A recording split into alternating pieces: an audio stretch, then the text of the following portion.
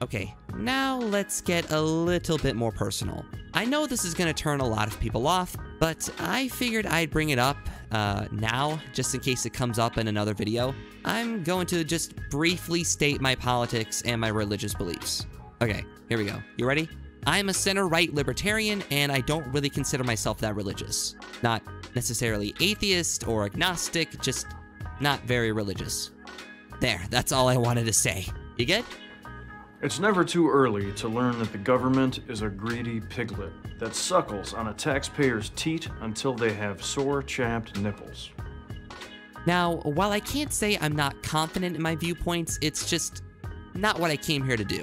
But they might come up in another video, so I figured I might as well have you all prepared. I regret nothing. The end. Look, everyone, it's the worst song of the week. It's actually so bad, it might be the worst song of the month. And depending on how the rest of the year plays out, it could potentially be the worst song of the year. Guys, these jokes wouldn't even make it into a fucking Madagascar sequel. Like these are jokes you'd hear from your classmate in third grade who had family issues. He doesn't even set up his one Just joke. No, because throwing in a name instead of just verse like jumping that, right into the animated part of the video, he's like, comedy, where no, I need to have an Yeah, argument total with a bunch of 12 Jerk off fest. That's Because completely that pointless is my and target Stupid and inane. I don't know what I expected and from the, song, honestly, but as soon as the book opened in the is video, really I felt a feeling like dread start to There wasn't even an my attempt at comedy there. Oh, See as a oh, kangaroo. This is a celebrity charity single. And This goes into So rapping that's like why Lil it Dicky and It. It doesn't His really bring anything can substantive to the table. Stop so being mean, lol. yeah, it's just garbage. Uh, look. vagina. Uh, hi, goes into this I'm a fucking hanger. Uh, hang up your clothes and don't do anything else. Someone pay me money to say this dumb shit.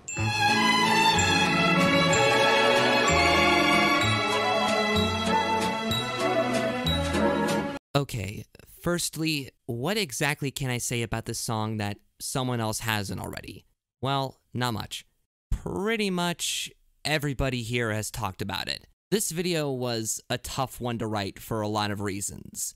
In the end, this song has just infuriated me so much, and I've taken my time to figure out exactly why I despise it. So if I seem to overuse reaction clips, keep in mind, it's to help me pull through this more smoothly.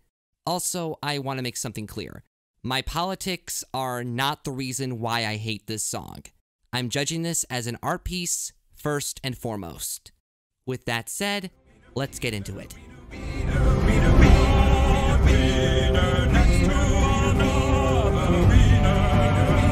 So, I just want to mention this quickly, but the person I'm going to be talking about is sometimes referred to as the Adam Sandler of music. I disagree. I disagree. Yeah, you see, at least Adam Sandler can make good music. This guy is more, well, you know how one of Amy Schumer's main routines is to joke about her vagina?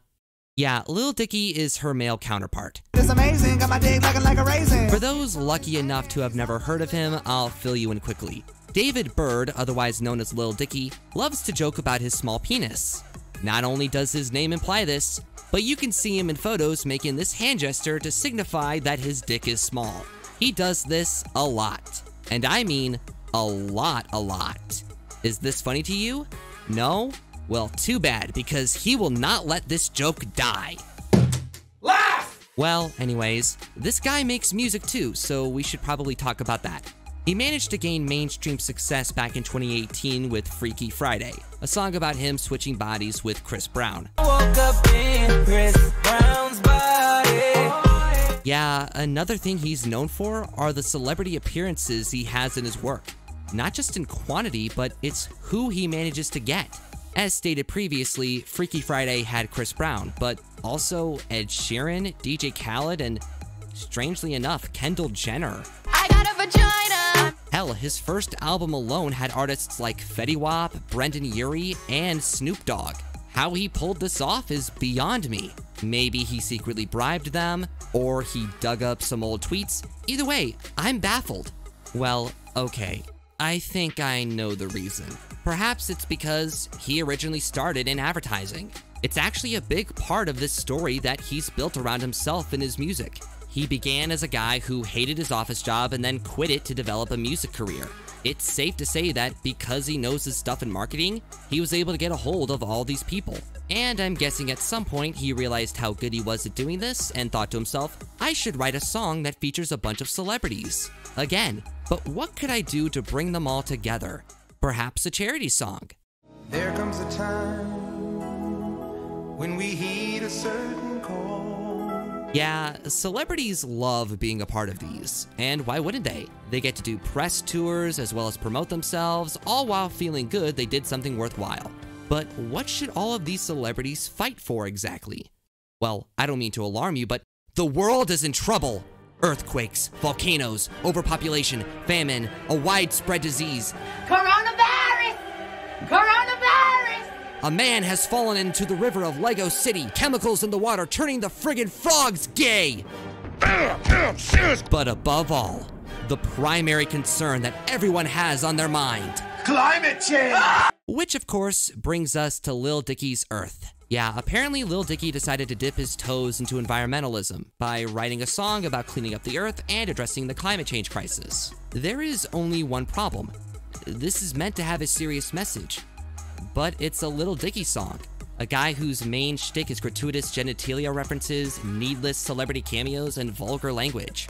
I mean, yeah, it's possible to be funny and serious regarding climate change, but is that possible for Lil Dicky? Well, it's time to suffer together. This is Lil Dicky's Earth. I have a small dick! I have a small! The music video starts with reports of the California wildfires, all while trash is littered everywhere, and a group of kids knock over a trash can that gets the attention of Lil Dicky. Hey, are you Lil Dicky? Yeah? Hello? Yo, Lil Dicky, my brother thinks you suck. Your brother must be an individual of high intellect. Okay, your brother probably sucks. Look at how you turned out. You're a rat. I mean, I know they knocked a trash can over and everything, but arguing with kids is a new low, even for you. Well, anyway, as he continues bickering with the kids, one of them stays behind and discovers a magical book. The pages lead him to, uh, well, the only positive I can give for this. First of all, this is a terrific presentation. Terrific.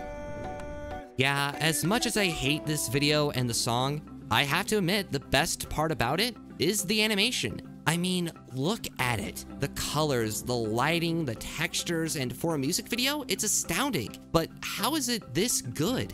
Well, as it turns out, the video was co-directed by Nigel Tierney of Riot, Federico Heller of 3D AR, as well as Oddbot Animation and Iconic Engine. And yeah, they did their job well. I mean, the scenery looks stunning, the art direction is just right. Hell, even Lil Dicky in animated form looks great. Also, as someone who has a pair of uh, hairy skull crushers himself, I appreciate the details here, alright? I feel represented. That shit's important in Hollywood. But that's probably not why you're here. Remember what I said about Lil Dicky being obsessed with gathering celebrities together? Well, the same applies here.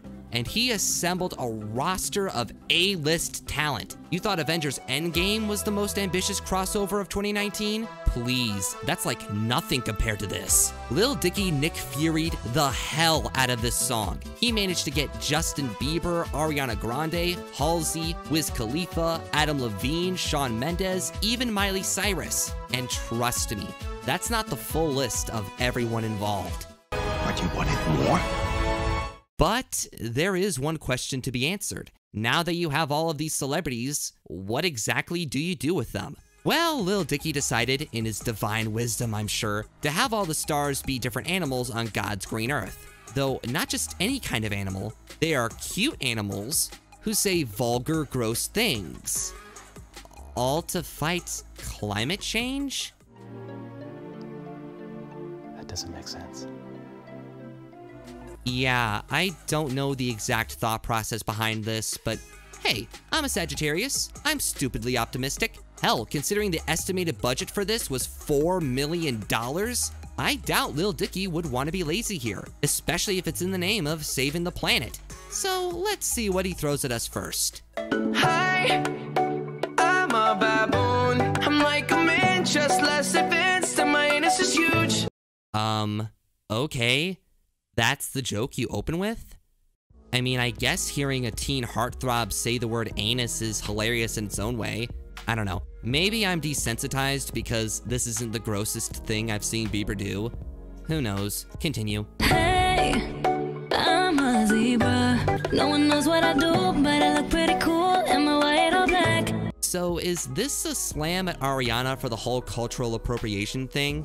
I'd say yes, but I don't know if Lil Dicky has the balls to throw shade at one of his colleagues like this. I'm a lion cub, and I'm always getting licked. Again, I'm failing to see the joke.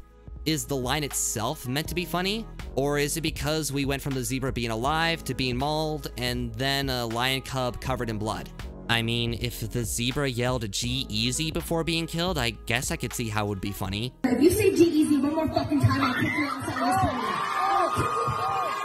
this. By the way, Halsey, I doubt you will see this, but if you do, please don't be mad. What you did was amazing and, not gonna lie, kind of hilarious. And I feel bad for saying this, but I would pay good money to see another verbal fight between you and that guy. It would be better than pay-per-view. Alright, now I got a lot of money riding on you, so drag 'em, sister! Uh, if you say G-Eazy one more fucking time, I'll kick you outside this planet. His dick and twist it! Oh my god, dude, this is an MMA fight, dude. You Too much- twist that dick! Twist this dick! Twist this dick! oh my god. Oh, dick twist! Anyways, what's next? How's it going? I'm a cow. You drink milk from my tits. Um, Lil Dicky, I don't know where you got your biology lessons, but male cows don't have udders. Like, is that supposed to be the joke? The fact that it's a male voice coming out of an anatomically female animal? Well, to be fair, it's not like males voicing female characters haven't been done before. Maybe Lil Dicky just couldn't find a female artist who was willing to say that line? I'm a fat fucking pig. Haha, the pig said fuck? Okay. I'm a common fungus. Really? This line isn't even that raunchy. So far, only three of these animals have said anything remotely not cute or gross. The rest, strangely the women, have said nothing close to what the others are saying. I'm sorry, but when you have Apple Music describe this song as a very vulgar, star-studded tribute to Earth and all its creatures, you pardon me for expecting a little more consistency in its premise. Also, maybe I'm having a case of selective amnesia because I gotta say, That's a lovely, lovely voice. who is this common fungus? Oh, oh god. Oh god, no, I, I remember now. Holy shit!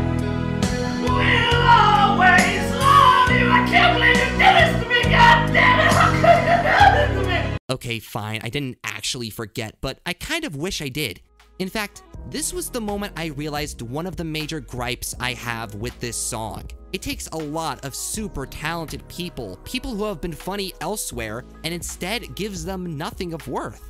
I'm sure Justin Bieber has made people laugh occasionally, and I know for a fact that Ariana has made children laugh during her Nickelodeon days. And of course, Hailee Steinfeld, who, like I said in my Bumblebee video, is not only a very talented singer and songwriter, but also an immensely skilled actress. She's an actress who could portray any type of role that is given to her. And yes, she can be hilarious when she has to be. Life is an endless sea of pain. Emily, what is wrong? I got my period. Hell, even when she's just being herself, she's a riot. Oh my god, there's two white. Oh my god, of course, the one in the field. And then top hat! Duh! Where do you see yourself in five years? I don't know what I'm doing tomorrow. So, now that you're reminded of her talents, imagine reducing her down to saying this. I'm a common fungus. Sorry, it was just so quiet. So yeah, shame on you, Lil Dicky, for wasting this girl's talent. By the way, Hailee, did you release your spores into the air or did you give me COVID-19? Because either way, you've taken my breath away.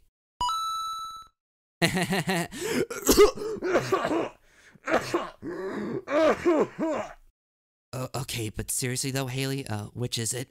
Anyways, what's next? Another lame joke?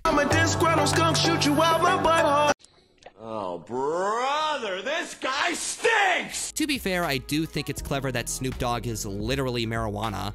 I mean, what else should he be? But then we get a cameo that, still to this day, is just confusing. And I'm Kanye West. We love Um, thank you for reminding me that Kanye West is a thing, I guess?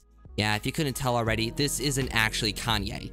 It is in fact comedian Kevin Hart, who really needs to work more on his celebrity impressions. Well, as it turns out, this part was meant to be for Kanye, and Lil Dicky tried to get a hold of him, but just couldn't. Apparently, he's an adamant guy to get in contact with for some reason. And well, the main reason he's even in this is because Lil Dicky just admires Kanye and considers him a big hero of his. But even with that, what exactly does he have to do with the earth or environmentalism? I mean, is this what it takes to make people laugh? Just stating who you are or anything random? Now you're probably thinking, oh, Brendan, stop it. I think you missed the point. Just sit back, relax, and enjoy the silly jokes. First off, according to the song, we're going to die. I don't have time to relax. Second, what jokes? Do you mean these? We're just some rhinos, funny as heck. I'm just a giraffe once with a snack. That's the joke. Hippity hop, I'm a kangaroo. How about that? Up and down with you. Okay, please, people who like this song, how exactly is Sia saying that she's a kangaroo who loves to hop around in any way, shape, or form funny? It isn't. Well, I guess it's good to know that Sia can still sound like an angel while singing stupid lyrics.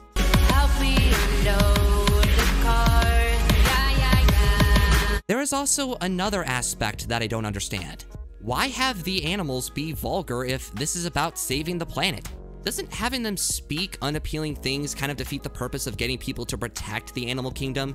Because, yeah, I know I want to get in touch with Mother Nature after knowing that baboons have large anuses, skunks can shoot you from the rear, and vultures feed on dead animals. In all fairness, it's not impossible to talk about the grotesque side of animals as well as their beauty. Ze Frank 1 does this all the time. One of the male's arms is actually a hectocotylus, which functions like a penis. Therefore, shaking hands with a male octopus is sort of like playing Russian roulette. In the, oh my god, it looks looks like a dog penis that's trying to escape. run, little red rocket, run! Well, that's even worse. No, I'm saying it looks like it's relieving stress, like it was cramming for a math test and needed a break. However, if you're going to aim for gross, why not go full force and show us some disgusting animals? Or better yet, avoid that angle. Because I think this song could have been better if they just ditched that comedy aspect and tried to educate us on these creatures. Take, for instance, my favorite animal of them all, the elephant. You know, ever since I was little, I had always been fascinated by these creatures, and after learning more about them, I had every reason to be interested in them. You've probably heard the saying that elephants never forget, and yeah, that's true. They do have a fantastic memory.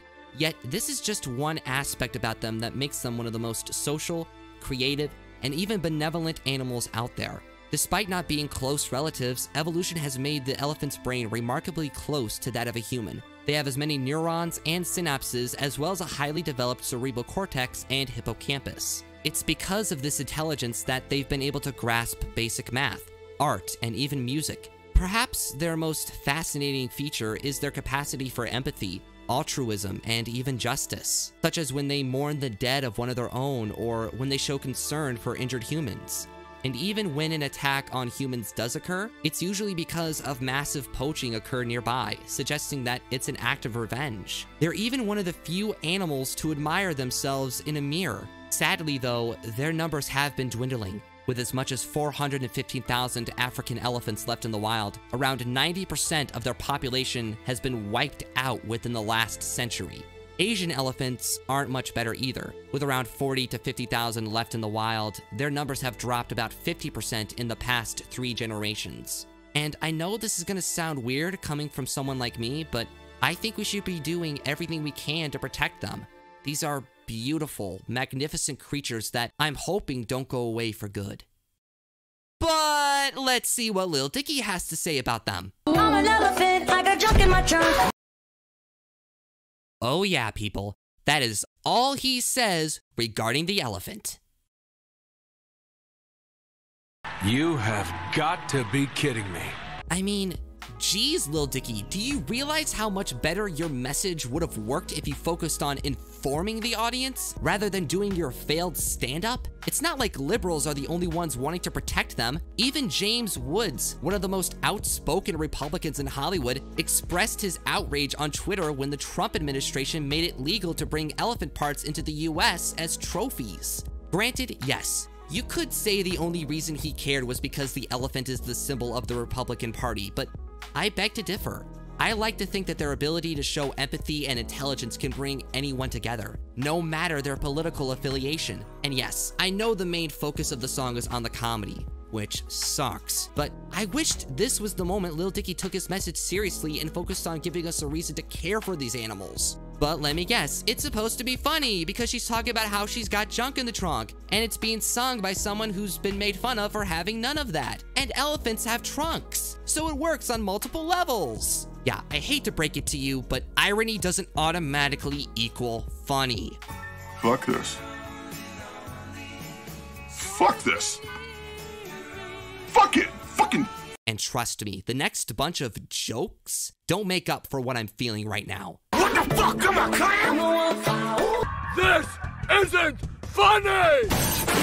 I'm a squirrel looking for my next nut. Get it? Cause balls.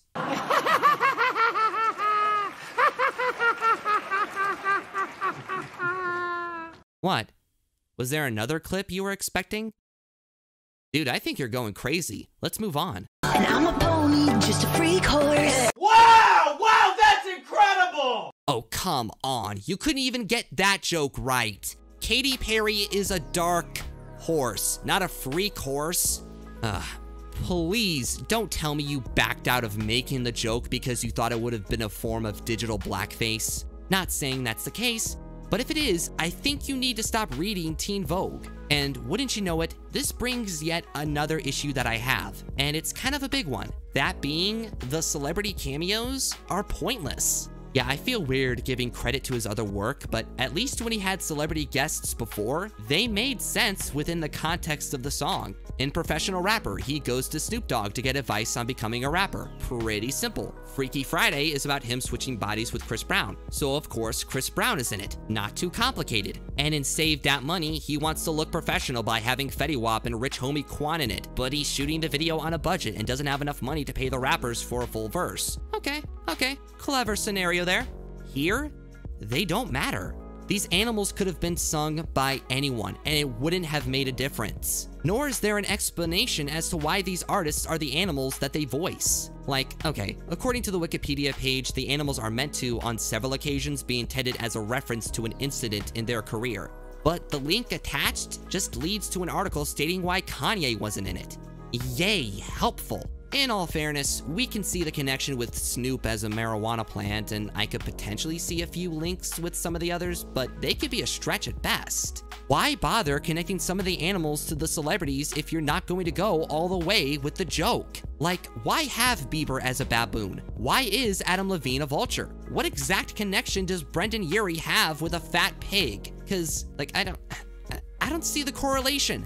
I would say that an explanation is needed for all of them, but you'd be breaking one of the most significant rules of comedy. That being, you're explaining the joke. And as we all know, If you have to explain a joke, there is no joke! but even if you needed to explain the reasoning behind them, I think if you planned on referencing a career moment for the celebrities in all of the animals, it actually could have been a lot more amusing, or at least clever. Like, why not reference one of their songs, or pick a different artist who would be a better fit for the lines you wrote?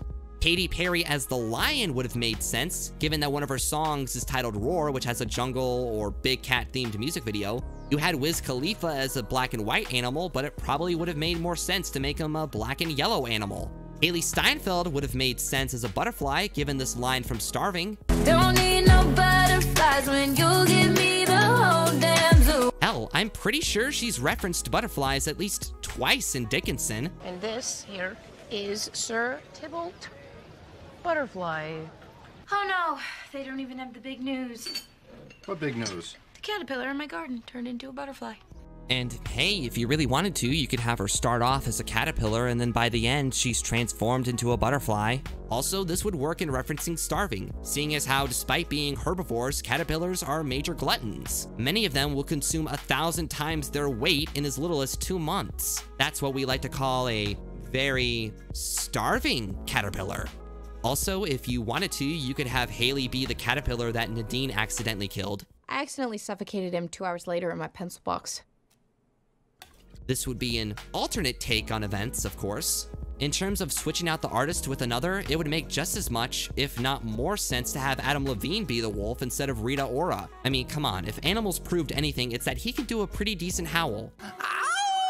Baby, I'm playing on you tonight. And really? You managed to get one of the most hyped up and energetic personalities in the music business and turn him into a clam? I'm sorry, but clams are stupid. I'm sorry I said it, but they are dumb as hell.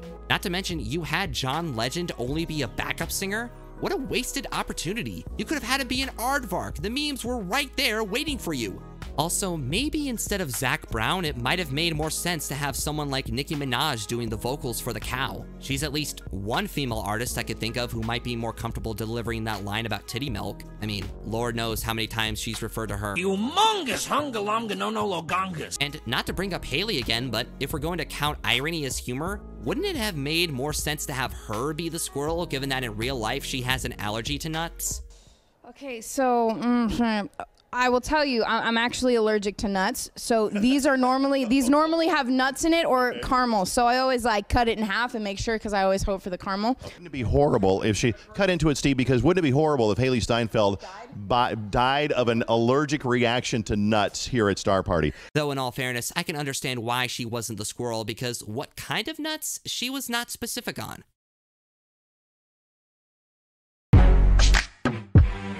Yeah.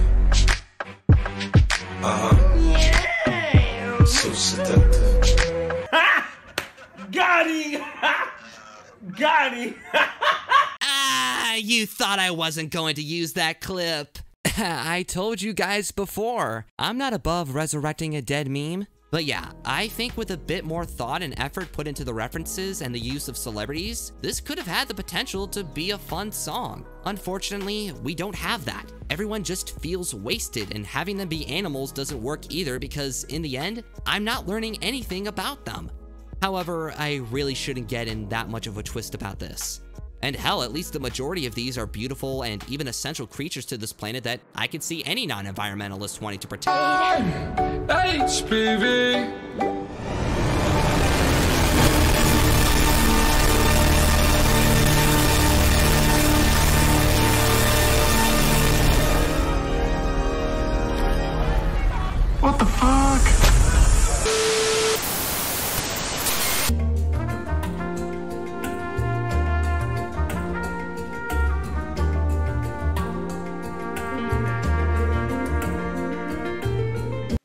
Wait a minute, didn't they say this was a part one? Huh. Yeah, I guess so. So yeah, no, just just come back for part two.